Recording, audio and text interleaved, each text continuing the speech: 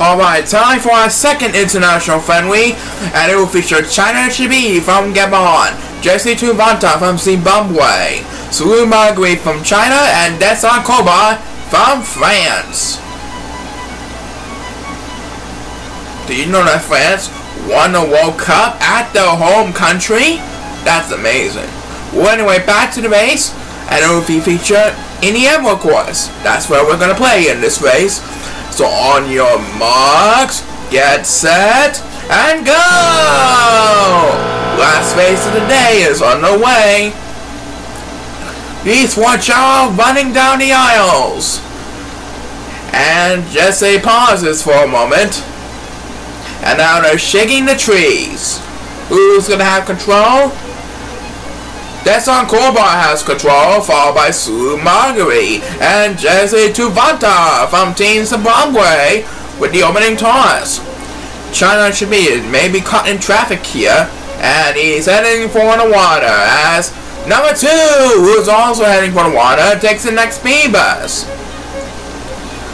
Meanwhile, Jesse takes a speed bus, trying to control the crowd. And it looks like that's Desan Kobai has the lead at this point. And the next speed bus belongs to the Red Baron, Salute Marguerite. Chiner Chibi needs some serious catching up to do. Number 1 will have the next command on the speed bus. Number 8 is all alone, devastated to be in last place behind the pack.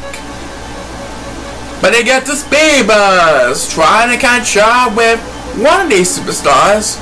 He's still in last place. Meanwhile, Sue Margaret is catching up to Desan Kobai. Jesse took the next speed bus, and number 7 pauses for a moment. Trying to finger control. And number 2 gets a speed bus.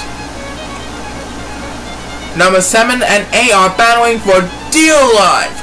And number 7 will leave number 8 behind. And he's back in this one. Number 8 behind for a second time in this race. And Chiner Chibi from Gabon takes the next speed bus. He's safely in fourth place. Let's see who has the next command on the speed bus. It's number 7 who have the next command on the speed bus. Number 8 is all alone in last place again. What's gonna happen? Number 8 gets some help. But we're about to have winner back up in front. So Little Marguerite, the Red Baron, does it. And it looks like number 2 will wrap up the speed bus for today's events. So here is your winner of our final race of the day. Team China's Red Baron, Saloon Marguerite!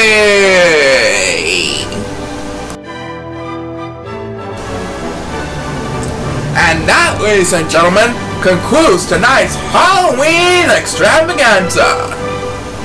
Later on, we're gonna see trick-or-treaters come out, I hope.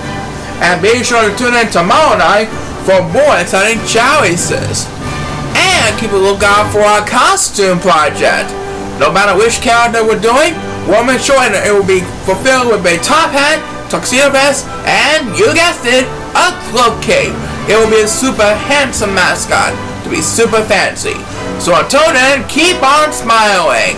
Bye for now, and have a safe and happy Halloween to everyone!